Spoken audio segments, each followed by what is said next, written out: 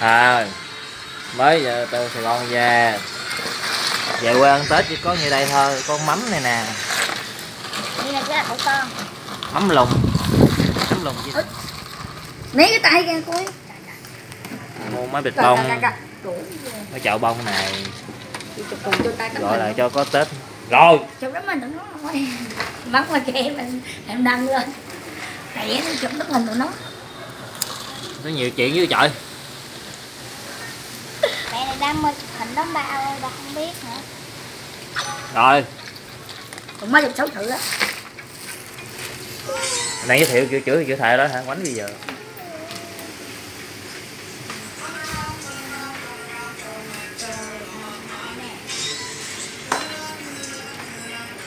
Mình chạy